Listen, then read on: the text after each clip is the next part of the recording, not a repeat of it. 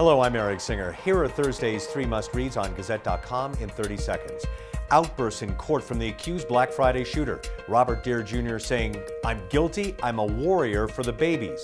Dear is formally charged with a deadly rampage at the Planned Parenthood facility. No charges in a massive sexting investigation with hundreds of nude photos discovered. 106 Cañon City high schoolers were involved. History is made one wall at a time for the Olympic Museum C4C project. Demolition began for the massive downtown project. And those are Thursday's three must reads on Gazette.com in 30 seconds.